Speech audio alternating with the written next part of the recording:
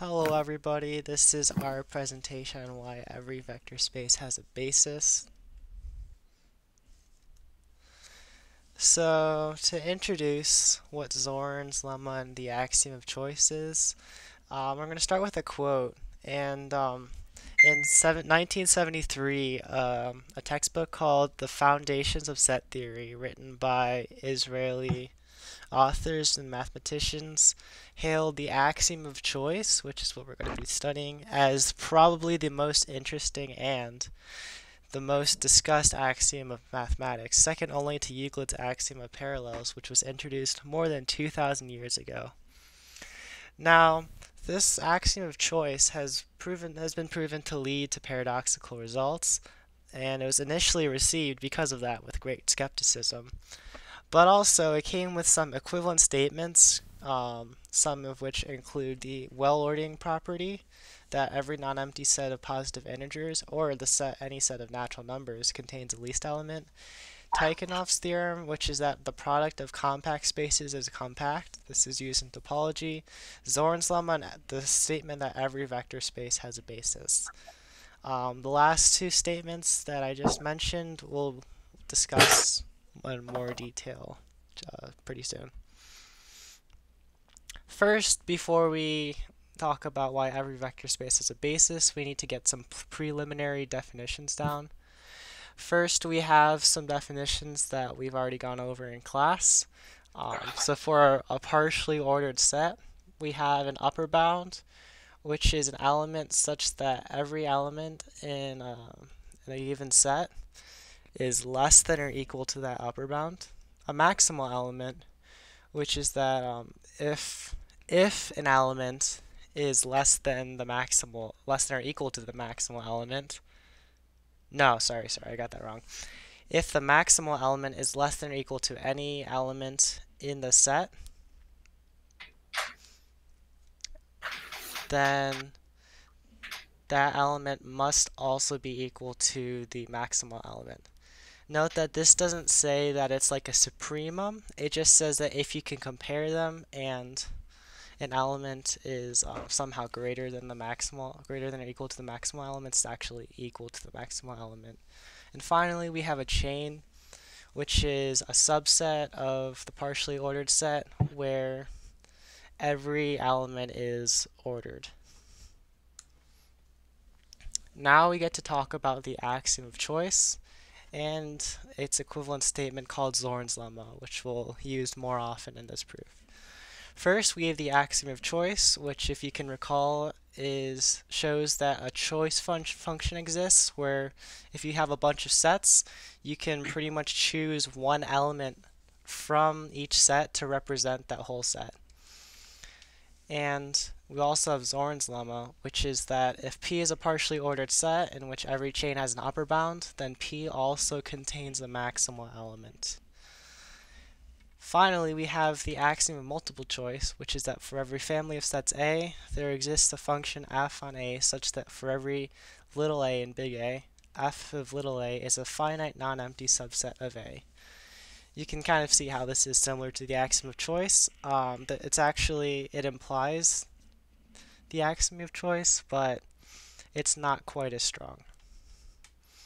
Finally, we need to discuss some, um, some definitions from linear algebra, since we are talking about why every vector space has a basis. And First, we'll start off with a vector space, which is a vector space V over field F is a set closed under vector addition and scalar multiplication. And it also satisfies some properties, which are commutativity, associativity of vector addition, the additive identity, an additive inverse for every element, associativity of scalar multiplication, distributivity over scalar and vector sums, and the existence of a scalar multiplicative identity. Now we're almost done. We'll have to go over um, a linear combination, which is um, a set of vectors. So the linear combination of a set of vectors is a sum where it's the sum of scalar multiples of those vectors.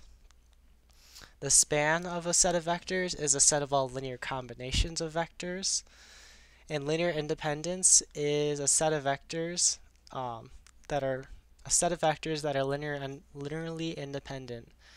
If the trivial solution is the only solution to the following equation, and that just means that the only coefficient that works as R1s, R2, and so on is 0.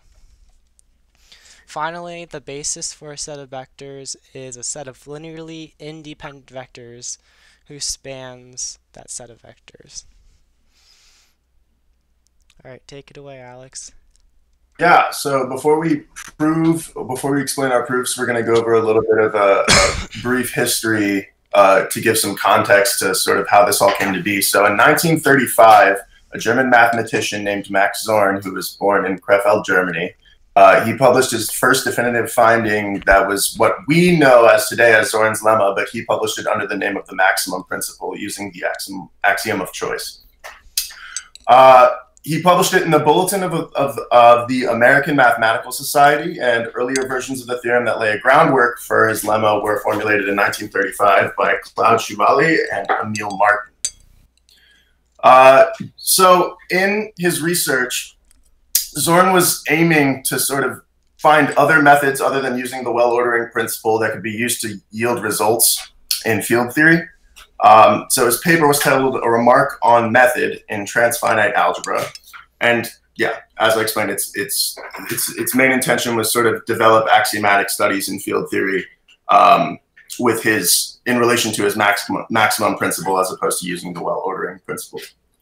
Um, Artin, who Zorn studied under as a, uh, as a PhD student, uh, is the one who recognized that Zorn's lemma implies the axiom of choice and then sort of vindicated the equivalence of both. Although in Zorn's paper in 1935, he did the axiom of choice, the well-ordering principle, principle, and Zorn's lemma are all equivalent, although he did not prove the claim in his paper. Um, and then in 1984, later on down the road, Andreas Blass proved that if a vector space has a basis, then the axiom of choice holds. So since Zorn's lemma and its equivalent, the axiom of choice, were commonly used to prove that every vector space has a basis, Blass's proof showed that all of all of them were equivalent. So the axiom of choice, Zorn's lemma, and the statement that every vector space has a basis. So that is our brief history. Um, so now we're going. Oh, and then. Oh, go ahead. No, no, no, no, no. You're good. You're good. I was just going to state that. Um, uh, yeah, eventually Zorn died in, in 1993 in Indiana because he had been teaching at, at uh, Indiana Bloomington from 46 to 71. All right, now we're going to go to our first proof, which is that Zorn's lemma implies the statement that every vector space has a basis.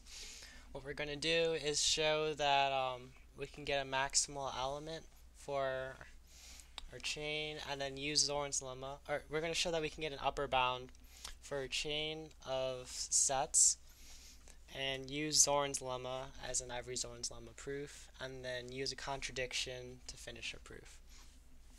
So to start off let V be a vector space. We're going to choose some non-zero vector and because there's only and then um, put that in its own singleton set. Since there's only one element in that set, it's a linearly independent set. And if that singleton spans V, then that is a basis for V. Otherwise, we can choose another non-zero vector that is linearly independent from that first vector and define a new set to be the union of the singleton with the, the vector that we just chose. Now, if that new set spans V, then it's a basis for then it's the basis for V as well. And then we can keep going through this, uh, choosing more and more linearly independent vectors to add to our new sets until uh, it becomes a basis or indefinitely. And the culmination of each iteration gives a collection of sets, so all the sets that we've created, whose elements are linearly independent vectors in V. Since each set contains its the previous like iteration of the set, then we know that we have this following order of sets under inclusion, where the first is included in the second, which is included in the third, and so on. Now, let's define a set of all those sets that we just talked about. And these are, all those sets, remember, are linearly sets of linearly independent vectors.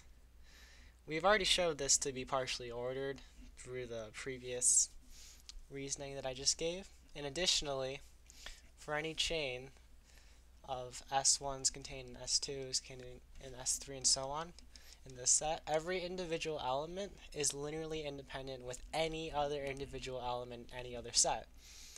Thus, the union of all those SIs um, only contains linearly independent vectors.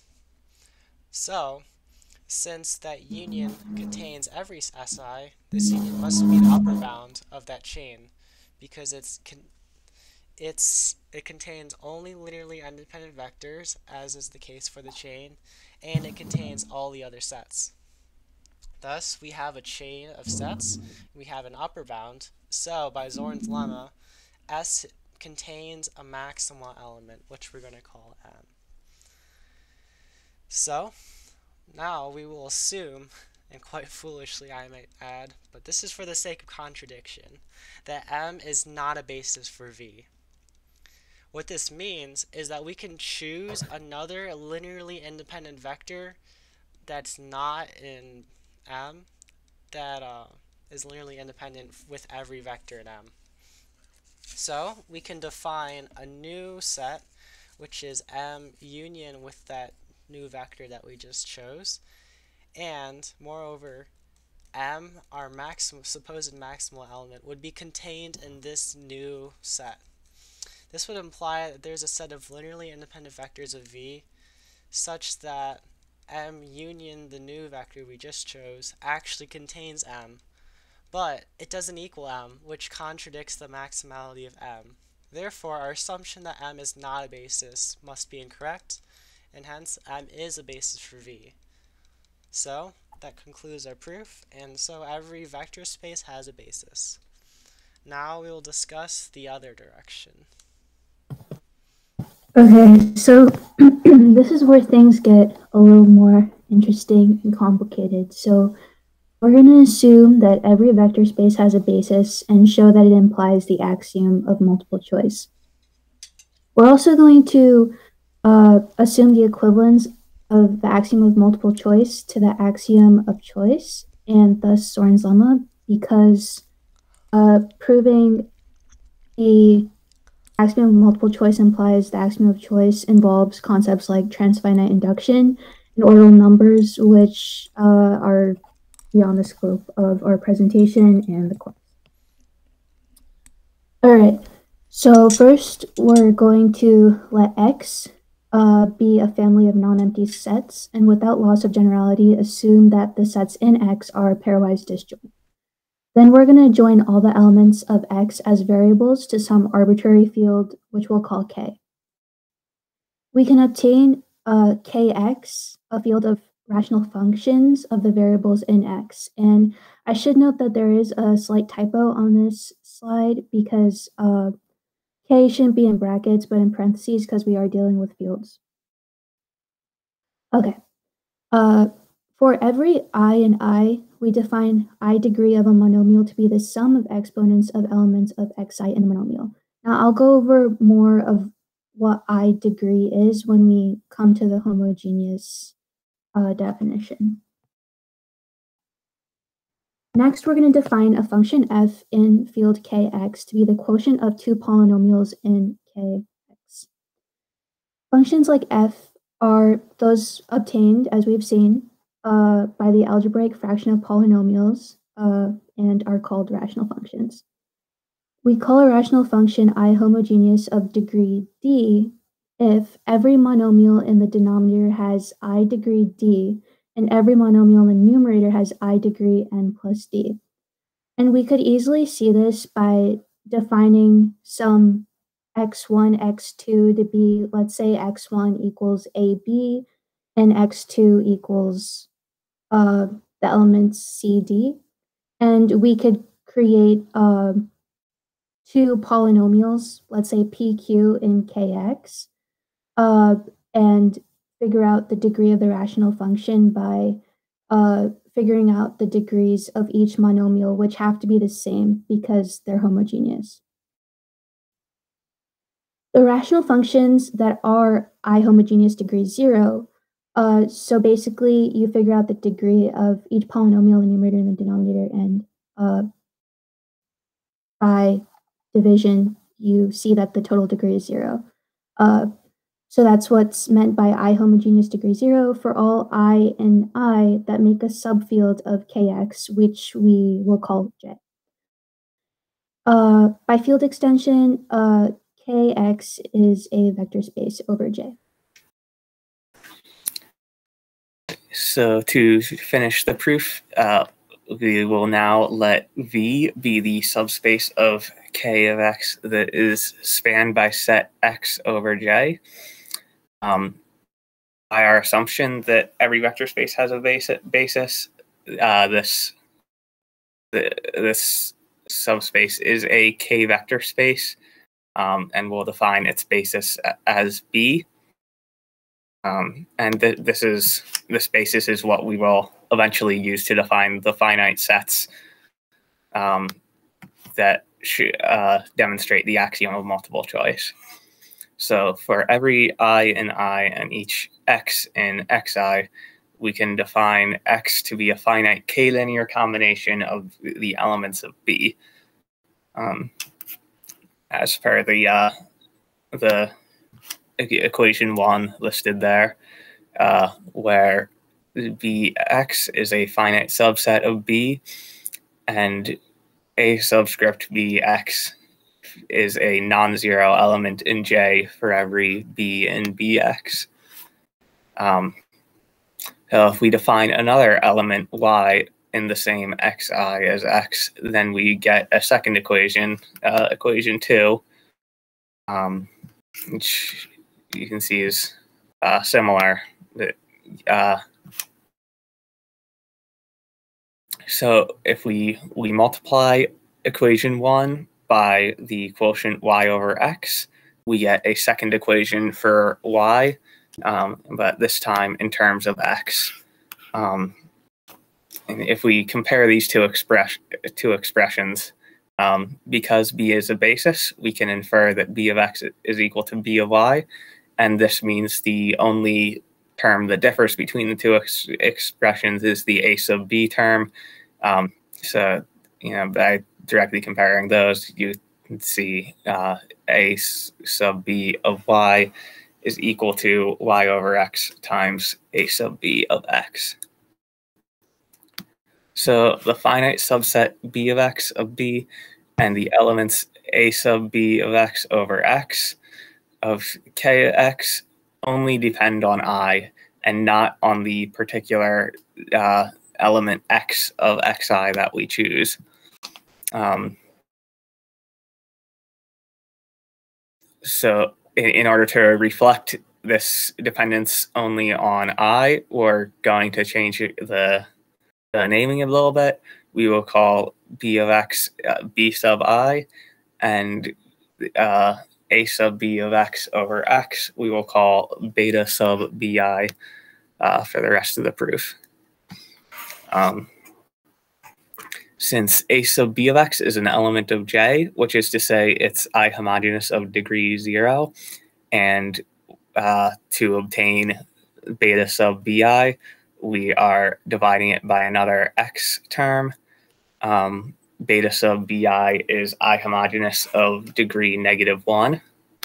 Um, and therefore, when it is written out as a quotient of two polynomials in its most reduced form, um, there must be some variables from xi in the denominator. Um, so the, the, fact that it has it, it's i homogeneous of degree negative one is telling you the uh, xi terms in the denominator are of a higher de degree than those in the numerator. Um, so now we will define fi to be the set of the elements in xi that occur in the denominator of the reduced form of beta sub bi for some b in bi. uh, this gives us an fi that is a non-empty finite subset of xi, which is exactly what we need to demonstrate the axiom of multiple choice. Um, so this concludes our proof as we uh, take as known uh, for the sake of the proof that the axiom of multiple choice is equivalent to and implies uh, the axiom of choice, which in turn is equivalent and to and implies Zorn's lemma.